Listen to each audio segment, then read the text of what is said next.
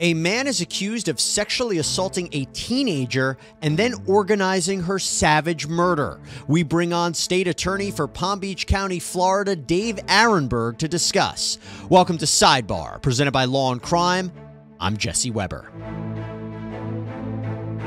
So it's pretty bad enough when we cover cases of sexual assault, but what about when that assault leads to murder? Because that's the allegation from Florida federal prosecutors. They say 36 year old Leonard White sexually assaulted a 17 year old girl named Isabella Scavelli.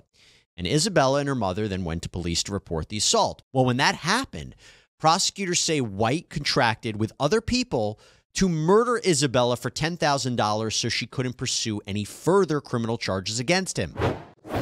On February 6, a 17 year old child and one of her relatives went to the Hernando County Sheriff's Office to report a crime. When she went to the sheriff's office that day, she told investigators that she had been sexually assaulted by Leonard White. The next day at approximately 11:29 p.m., Sheldon Robinson and Keyshawn Woods arrived at the child's home. They knocked at the door, and when the door was opened, a barrage of gunshots were fired.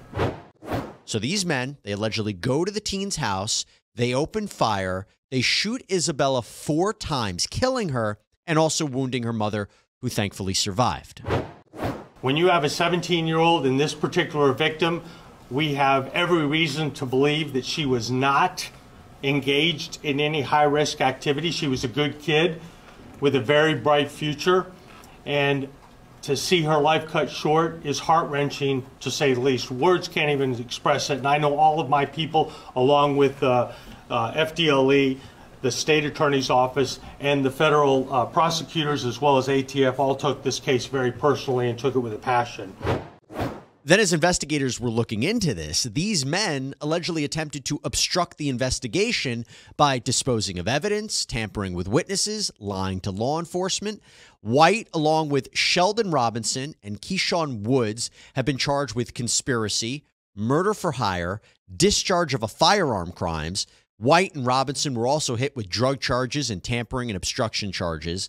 There's another person, Janet Williams. This is Robinson's mother. She's been charged with multiple counts of false statements to federal agents. Let me bring in right now Palm Beach County State Attorney Dave Aronberg. Dave, thanks so much for coming on. Uh, I first would just like your initial thoughts on this because when I saw this story and saw the headlines, I had to read it twice. I couldn't believe what I was reading here. Yeah, I mean, I, I'm used to shocking cases. After all, I'm a sitting prosecutor in Florida, but this is really awful. I mean, you have this poor girl who was victimized twice. Once by this older man who sexually assaulted her. Then she did the right thing with her mother and reported it, and then victimized again by two hitmen who came and murdered her and almost killed her. And I was reading about this that based on the autopsy reports, it seems that she was shot in the back, which I think looks like she was escaping. If you could just imagine the fear that must that must have been in her mind and her mother's mind as they opened the door and their gunmen there. Yeah, the uh, the bullet that caused her death apparently entered her lower left back area, which tells you that she was shot in the back as she was trying to run. Uh, you know, I know the U.S. attorney in that area. That's Roger Handberg. He's he's really one of the best in the business, and he's going to pursue justice here. This is a federal case. Um, and I guess there's some uh, gun issues, you know, federal gun issues, and and the fact that it's bad enough also that you have these three terrible people who are involved in this, but also the mother. You're talking about uh, yeah. uh, Woods's mother, Janet Williams, who could face up to 15 years in prison for, for making false statements, cover up her son's crime. I mean, you know, you can see, I guess, where he gets his values from. So let me lay out a little bit of that about the evidence, how they were able to get these guys um, and this woman. So the sheriff here said that deputies with canine units uh, they responded to the crime scene. The canines track the path of the suspects, and they find this shoe, and they test it for DNA, and the shoe apparently is a match for Woods. Deputies they find four thousand dollars of the ten thousand dollar payment at Woods's home, along with a gun and drugs they find that Robinson had the remaining $6,000 of the 10000 And apparently, his mom, who you just mentioned, was not truthful with law enforcement about the $6,000 being in the home. So it seems that's what led to the charges. And then the ballistics from the crime scene, they matched it to a gun at Robinson's place. I mean, what do you make of that path of evidence right there? Oh, that's good police work. I mean, look, they this uh, murder occurred, I believe, in February, and so it took until now, but they did it right. You don't want to start the speedy trial clock until you know you've got the goods, and they've got the goods on these guys.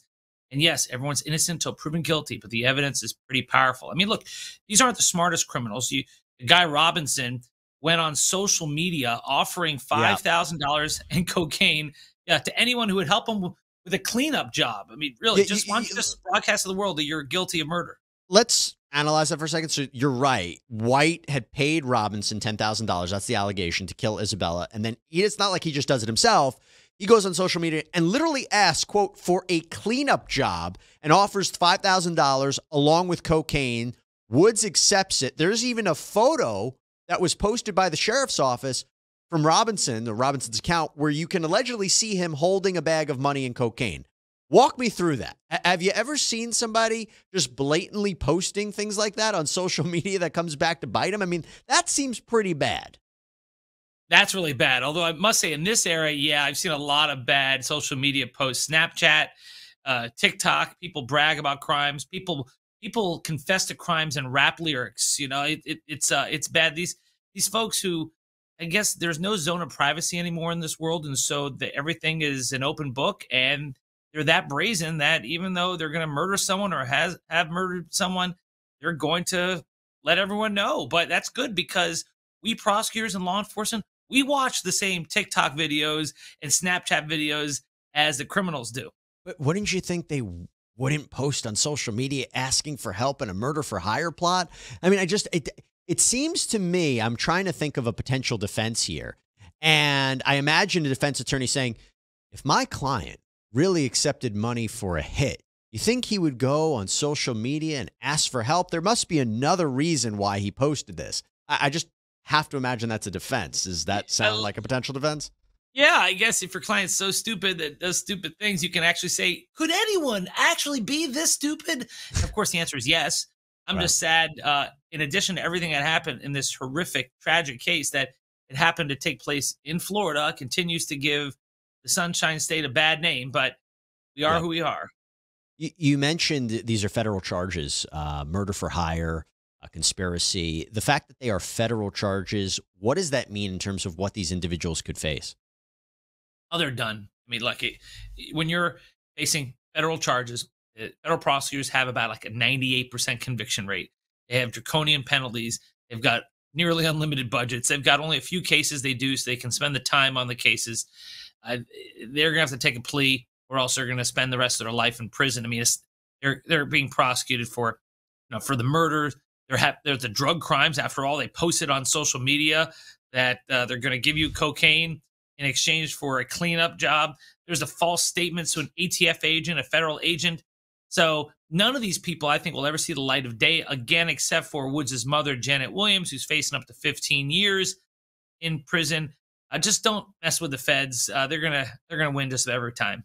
I should tell you that White and Robinson, they're both in jail already. They've been in jail since February. White on sexual battery charges, Robinson on drug and weapons charges. Now they're facing federal charges. So I agree with you. I mean, for their legal cases, it doesn't look particularly strong. I mentioned some of the other areas of evidence, like the DNA and um, the canine, uh, you know, picking up the scent. Any of that areas for a defense attorney to explore here? I think it's important to talk about what potential defenses could be because the need for understanding what prosecutors face in securing con- a conviction against these people. Yeah, I mean, they're going to play the burden of proof. They're going to say the state as they have to prove all this beyond a reasonable doubt, and there's no video to a murder, and the DNA here is of the guy's shoe, but it's not. It, yeah, it's his shoe. That's what I mean. The DNA uh, they trace it back to one of the murderers, but it's his own. It's his own DNA on his own shoe. So they could say that there's an innocent explanation for that. And sometimes you can get a jury and a 12 person jury, because this is a capital case, that all it takes is one person to say, hmm, where is the video or the exact DNA on the uh, victim's body? You know, you, it's called the CSI generation of jurors, where they just expect everything to be wrapped up in a nice little, nice little package where it's direct evidence that is confirmed by science. But a lot of times it's circumstantial evidence that gets you there.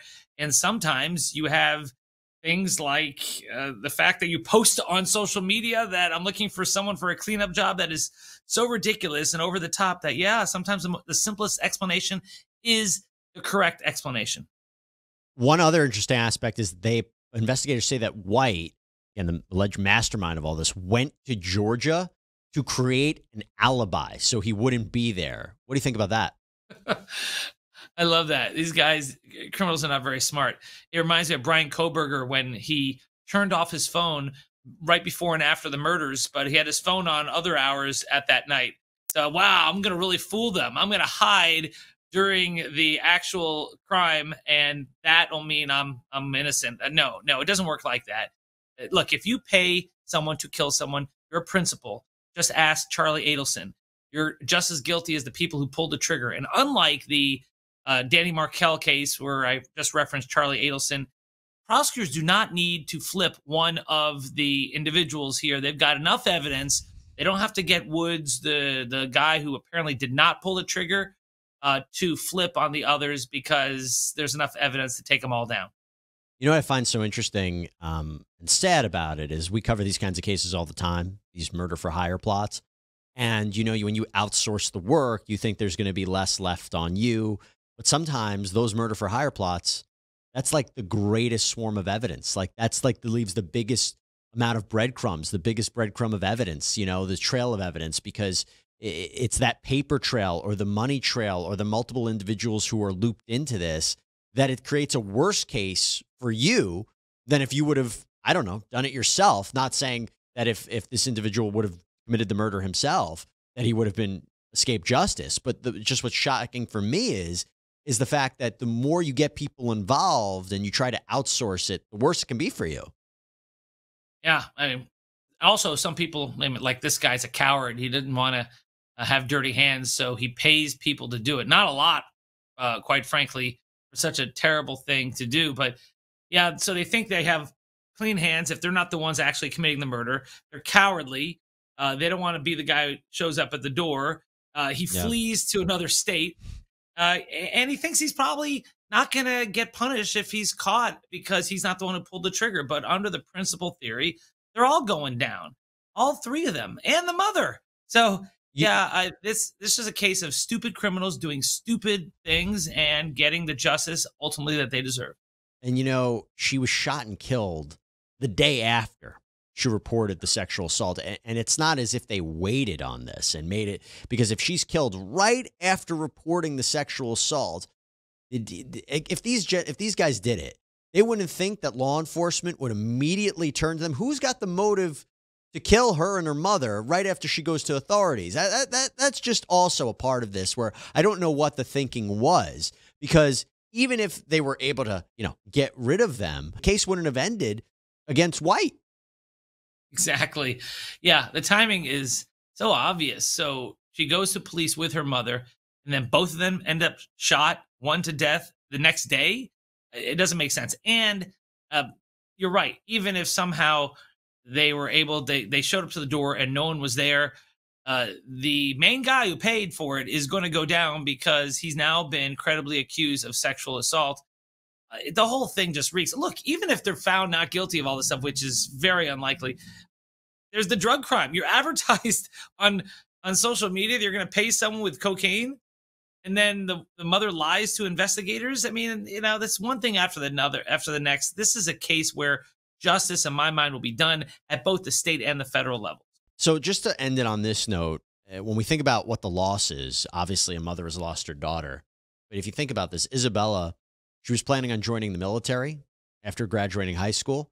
She was a part of student government. She played tennis. Her obituary stated that she was energetic, joyful, had a smile that would light up any room. that she was such a sweet girl that was full of personality and the best daughter, sister, and aunt. It's just a really, really sad case. And I, and I want to end it the way that you explained, Dave, is she tried to do the right thing. She tried to go to law enforcement to talk about what happened to her, and look what happened. What do you uh, what do you make of that? We always say, if you see something, say something. And when it comes to domestic violence and human trafficking and rape of a minor, those are traditionally underreported crimes. Those are crimes that we prosecutors can get very frustrated because many of the victims do either not want to speak up and step forward or don't want to cooperate after there's an arrest. She did everything right. Isabella did exactly what we want people to do. And sadly, she paid for it with her life because had she not come forward, she probably would have been alive today because it was the next day after she was murdered and her mother was nearly murdered. So the only hope now is that justice will prevail and these individuals will never see the light of day again. Dave Aronberg, thanks so much, my friend. Really appreciate you taking the time. Thanks, Jesse. And that's all we have for you right now here on Sidebar, everybody. Thank you so much for joining us. Please subscribe on Apple Podcasts, Spotify, YouTube, wherever you get your podcasts. I'm Jesse Weber. I'll speak to you next time.